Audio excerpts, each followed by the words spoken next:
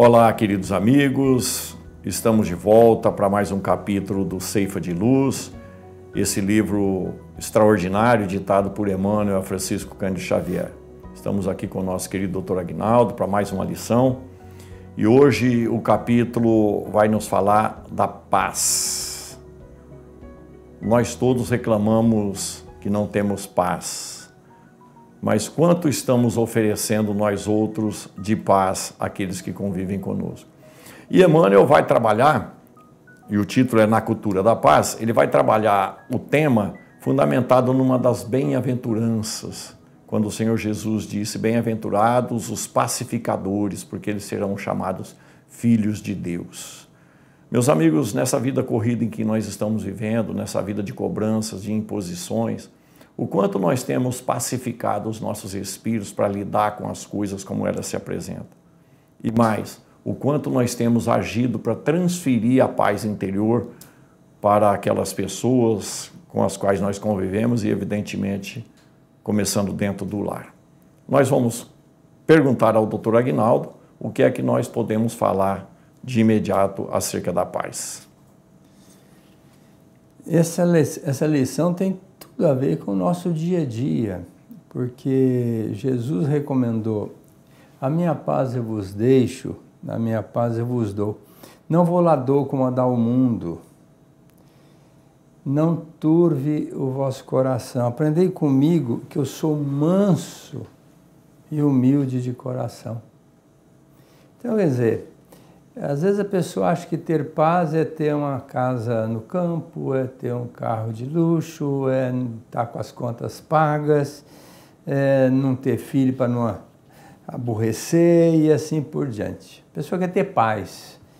Bom, essa não é a paz do Cristo, mesmo porque é quando é, na oração da paz atribuída a Francisco de Assis, que é bem da verdade não foi dele mesmo a oração, foi escrito por um padre chamado Esther e depois foi colocado na Primeira Guerra Mundial como é, um chamativo para o pessoal trabalhar a paz.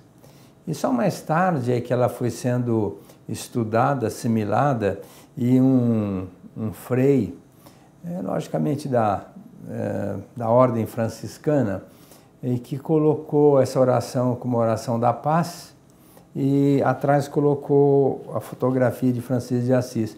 A partir daí é que viralizou essa proposta de que essa oração é do Francisco de Assis. Mas de qualquer forma, se não é, não deixa de ser todo um programa que ele fez de paz para si e para os outros, vivenciando de perto essa proposta. E o Emmanuel vai exatamente dizer isso, que se a gente quiser viver em paz, nós temos que começar a ver o outro como irmão.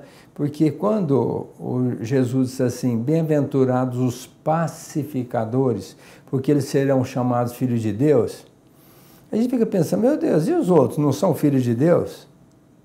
Mas quando a gente faz assim uma referência, eu sou irmão do fulano, filho do cicrano para identificar bem. Se nós somos filhos de Deus, o que é outro? É nosso irmão. Se eu trabalho pela paz do meu irmão, aí eu vou me justificar como filho de Deus. De outra forma, fica difícil. Ele não é meu irmão. Ah, se não é teu irmão, então você não é filho de Deus. Então, é isso que é a proposta é, do Cristo é dizer exatamente isso que nós temos que ver o outro como irmão. E em se tratando de um irmão, o que nós temos que fazer é zelar por ele, em qualquer situação. E aí então a gente pode abrir para estudar toda a proposta do, de quem escreveu o que foi o Padre Esther, da Igreja Católica à época, mas nesta proposta do Francisco de Assis que ele instrumentalizou a paz. Porque quando ele fala, Senhor, fazei de mim um instrumento da vossa paz, nós entendemos que instrumento é um objeto é muito útil para alguém executar um plano de ação. Então, se Deus vai trabalhar em cima da criatura para instrumentalizar a paz, essa criatura tem que ter paz interior. Então, a paz só vai existir lá fora em nível, vamos dizer assim, universal, quando ela existir dentro de mim. Eu vou passar essa paz para o outro que está comigo. Esse conjunto vai fazer com que a família viva em paz, a sociedade viva em paz, a municipalidade vive em paz, o Estado vive em paz, a nação vive em paz e o planeta vai viver em paz. Mas enquanto a paz não estiver dentro de cada um, nós não vamos ter paz em lugar nenhum. Muito pelo contrário, nós vamos viver uma guerra, degladiando contra as pessoas, mal sabendo que estamos nos distanciando dessa proposta de sermos filhos de Deus. E não há outra solução para nós outros se não buscar a paz, para que a gente possa é, ser minimamente feliz nesse mundo de expiação e provas. Ora, se nós estamos, meus amigos, no mundo de expiação e prova, significa que nós somos mais ou menos iguais espiritualmente falando. Então nós não somos melhores do que ninguém, nem estamos melhores do que ninguém. O que nos leva a compreender a necessidade que nós temos de aceitação do próximo tal qual ele é. E Emmanuel vai fazer essa observação para nós. De que forma nós estamos observando as pessoas falíveis que elas são, como nós somos falíveis? De que forma nós estamos julgando as pessoas? Lembrando que o Senhor Jesus nos recomendou não julgarmos, porque da forma com que nós julgarmos, nós também seremos julgados. Porque a cada um é dado segundo as suas obras, e quem ferir pela espada, pela espada será ferido. Então, o componente de paz que nós precisamos colocar em serviço é justamente ambientar o nosso próprio espírito a compreender as fragilidades alheias, os erros alheios. E, claro, construir dentro de nós um mecanismo que a gente pouco tem nesse mundo: a paciência. Por quê? Porque trabalhando com paciência, não só a gente pacifica a gente, quanto a gente também compreende os momentos turbulentos e de guerra dos outros. Os defeitos que as pessoas apresentam pelo seu comportamento, nós também carregamos conosco, às vezes um pouco menor, às vezes um pouco maior, mas todos nós, ainda inclinados que somos a esse mundo de expiação e prova, nós ainda somos muito, mas muito rasteiros no campo da espiritualidade maior. O que significa dizer que a gente precisa, antes de tudo, aprender a aceitar as pessoas como elas são e elas nunca vão ser aquilo que nós gostaríamos. Como bem lembrou o doutor Agnaldo aqui, nós somos todos filhos de Deus, em busca da perfeição. Esse é o trajeto nosso nessa terra. Então, a convivência social, que é uma lei da natureza, conforme nós aprendemos no Livro dos Espíritos, em lei de sociedade, né, a convivência é que vai dar oportunidade para nós dilapidarmos as nossas divergências, as nossas diferenças, para nós burilarmos mesmo os nossos espíritos no campo da pacificação. Quando nós exigimos de alguém determinado comportamento, nós estamos impondo àquele indivíduo uma coisa que talvez ele não tenha estrutura. E aí, e aí ele vai responder de forma diferente. Da mesma forma conosco, quando alguém exige de nós. Então, o primeiro passo, como bem lembrou o doutor Agnaldo, é a gente pacificar a gente mesmo aprendendo a raciocinar como nos ensina a doutrina espírita. Porque a doutrina espírita vai nos colocar como um espírito filho de Deus, que foi criado simples e ignorante para atingir a perfeição. No momento que nós nos encontramos, nós estamos muito longe da imperfeição. Eu posso até não ter os defeitos que fulano ou cicrano não tem, mas eu ainda tenho outros defeitos, de forma que a pacificação interior começa com a aceitação de si, e aí a gente vai perceber que o outro também precisa ser aceito tal qual ele é, sem nos sem aqui nos esquecermos do que lembrou o Senhor Jesus ou nos advertiu, né? Reconcilia-te com o teu adversário enquanto você está a caminho com ele, para que ele não te entregue ao juiz e o juiz te coloque em prisão novamente. E você não sai enquanto não pagar o último ceitil. O Senhor Jesus está falando para nós outros daquelas relações difíceis que nós temos na convivência social, que começa na convivência familiar. Então, a prioridade da lei de Deus, e é tão prioridade, que o Senhor Jesus, quando se referiu às oferendas que nós estávamos acostumados a dar no altar, ele disse que se nós nos lembrarmos lá na hora da oferenda que temos alguma coisa contra um nosso irmão, um nosso adversário, é para recolher a oferenda e lá se reconciliar com o adversário. É muito mais importante para Deus que nós estabeleçamos um ambiente de paz, de harmonia, de fraternidade pura, do que presentear Deus com coisas que já são dele. Porque tudo que a gente possa dar de oferenda no altar já é de Deus, até o nosso corpo físico, o nosso espírito é dele. Então, a prioridade do Evangelho e a prioridade de Deus é que nós façamos para o próximo aquilo que nós gostaríamos que fosse feito para nós. Então, eu preciso aceitar a belicosidade alheia ou os defeitos alheios para que eu possa também ser aceito tal qual eu sou. Porque se eu quero isso para mim, eu tenho que dar isso para os outros. Lembrando que a paz não é alguma coisa que vem naturalmente para nós. É, Derrama-se uma chuva de bênção, de paz sobre a humanidade. Não é assim que funciona. A paz é uma conquista que a gente vai conquistando a cada dia, a cada instante, quando a gente trabalha por ela. Outro dia mesmo uma moça falou assim: Não, eu sou quebra, eu sou muito brava. Eu falei, você está feliz com você desse jeito? Não, não estou. Eu falei, então muda. Ah, mas eu não consigo. Consegue, lógico que consegue. E, então me diz o que, que eu devo fazer. Falei, olha, é muito simples. Estude o Evangelho de Jesus. Escolha um dos evangelistas, Mateus, Lucas, Marcos, João, qualquer um deles, e vai estudar. Mas é, tem que ser um estudo sistemático, um estudo sistematizado. Não pode ser, ah, um dia ler o Evangelho e daqui a um mês eu vou ler de novo. Então eu, eu disse para ela: Você topa estudar o Evangelho? Não, eu, eu topo. Então vou te dar de presente. Eu dei para ela um livro, Evangelho segundo o Espiritismo, que em tese é uma síntese de todos os evangelistas com uma análise profunda didática de Kardec e ainda com a instrução dos espíritos, para tirar alguma dúvida a respeito de algum assunto. Dei para ela. Passado um tempo, ela voltou. Falei, e aí, você está menos brava? Doutor, mas é um milagre. Falei, não, não existe milagre. Existe o uso de leis. Porque aquilo que a gente considerava milagre antigamente é como se contrariasse uma lei. Né? E Jesus mesmo fez uma série de milagres, entre aspas. Não. Ele fez coisas que ele conhecia, leis que ele sabia usar, e fazia coisas fantásticas que nós desconhecemos e colocamos como milagre. Também, na verdade, não, não houve milagre nessa colocação.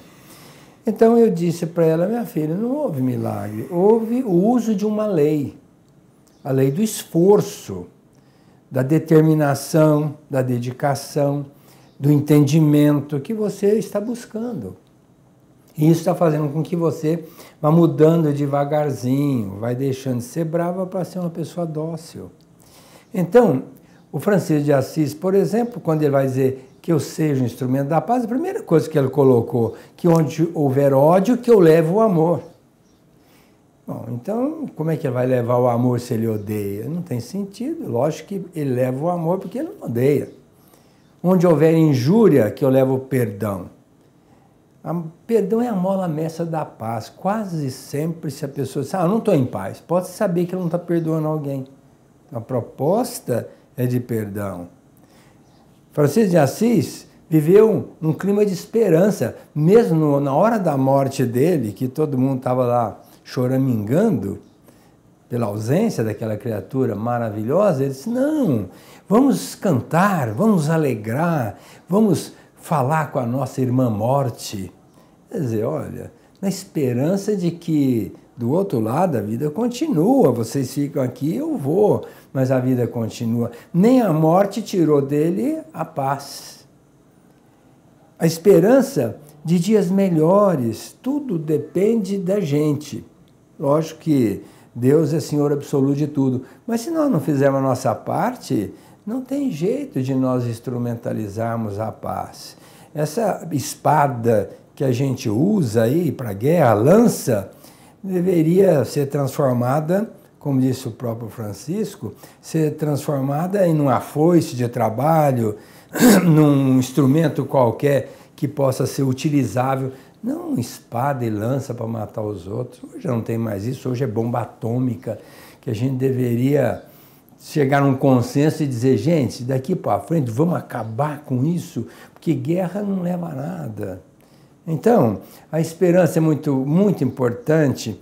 A luz do entendimento, como é importante a gente entender, ter essa clareza de raciocínio, uma fé firme pelo saber. Então, no estudo do Evangelho, a gente vai encontrar tudo isso. Tem muita gente fazendo terapia. Ah, o meu terapeuta, eu vou porque hoje eu estou muito mal. Olha, o terapeuta, você vai lá, você vai gastar uns trocados e, e, e às vezes ele nem fala nada. Você só coloca para fora.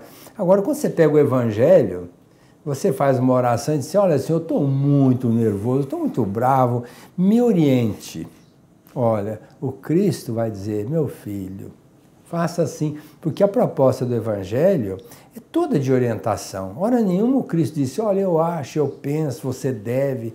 Não, ele se faça assim. Então, a orientação do Evangelho é para que a gente viva em paz, com essa tranquilidade, com a luz do entendimento. E isso vai nos fazer ter mais união com as pessoas. Por isso é que a gente tem que instrumentalizar essa paz, buscando-a com a nossa dedicação. É interessante esse raciocínio, porque nós já fomos muito piores do que nós somos hoje.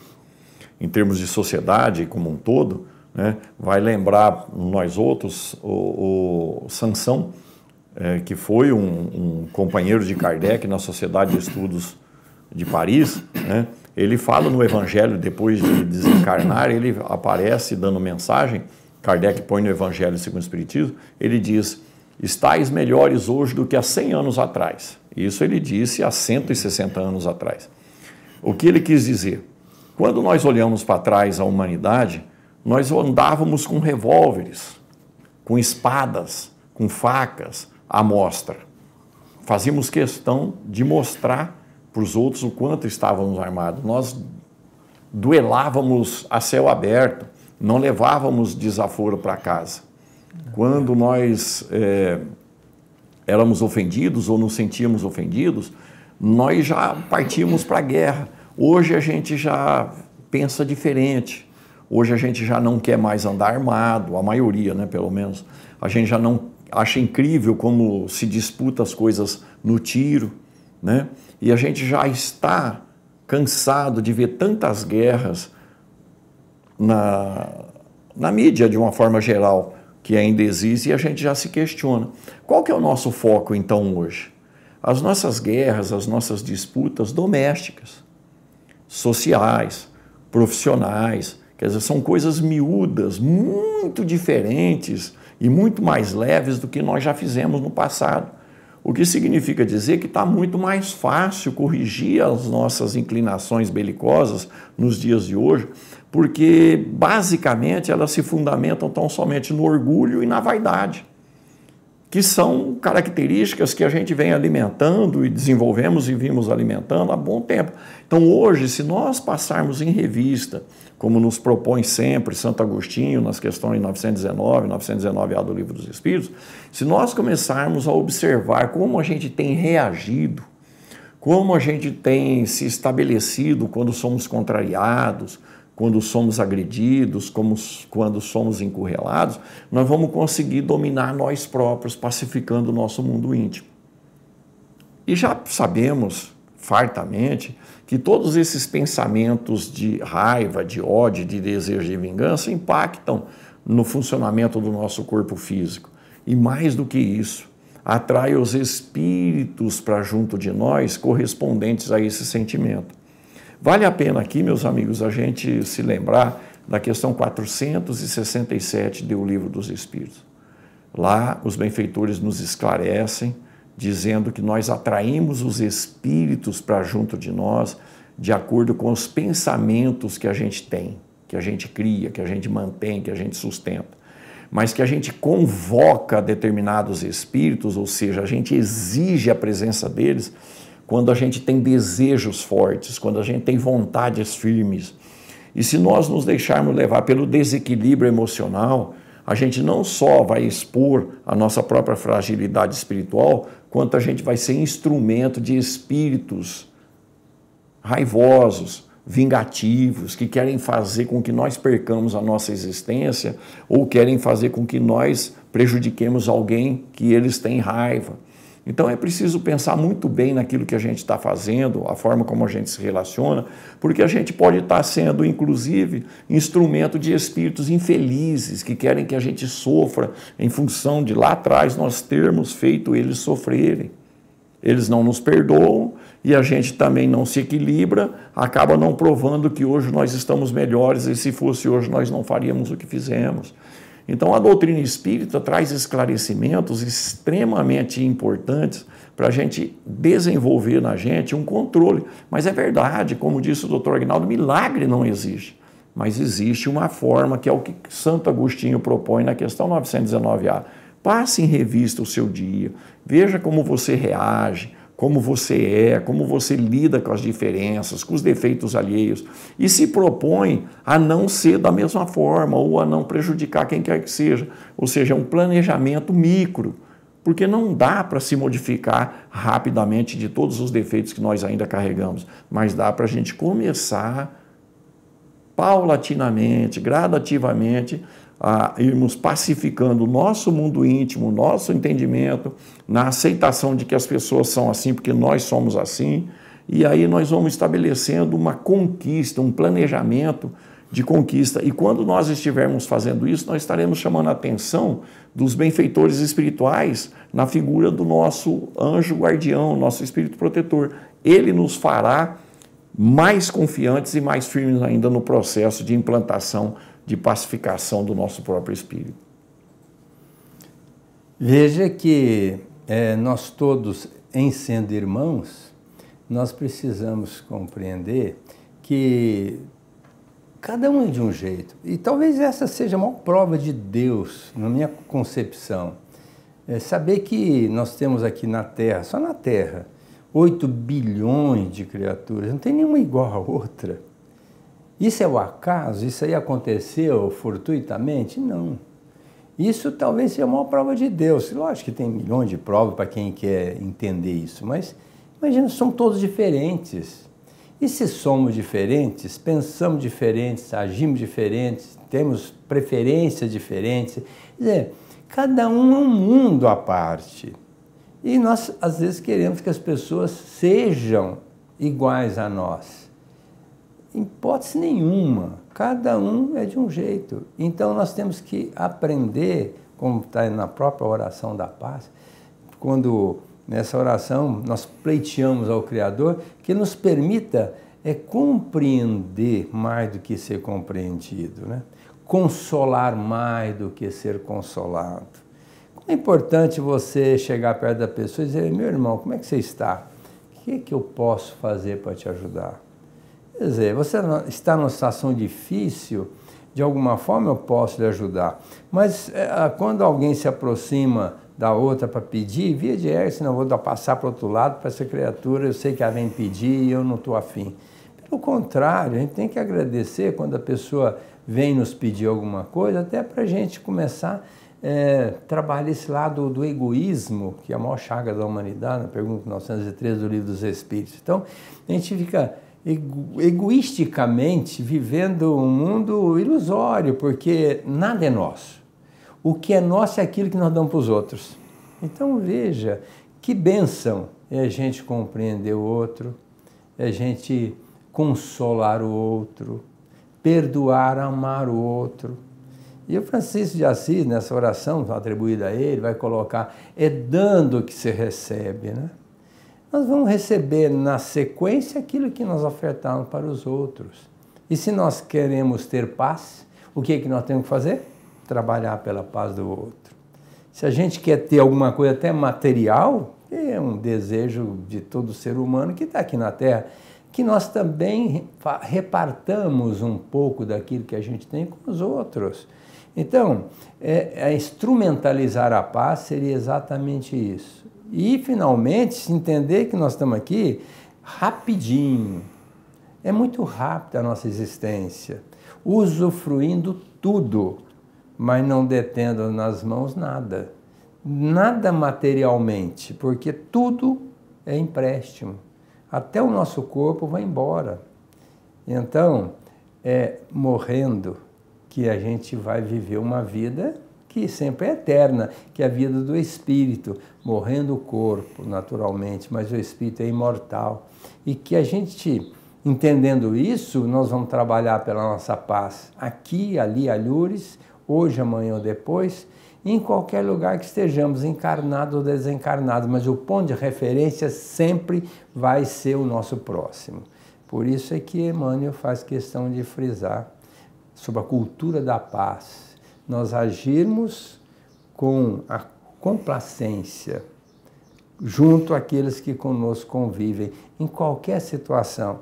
E finalizando, para a gente não ter dúvida, vamos a ter uma recomendação de Jesus. Você quer ter paz? Fazei ao outro o que gostarias que o outro vos fizesse. Esta é a verdadeira paz interior. Finalizando o nosso programa, um abraço a todos. Queremos convidá-los para a semana que vem estarmos aqui novamente à luz do Evangelho, no estudo desse livro fantástico, Ceifa de Luz, de Emmanuel e Chico Xavier.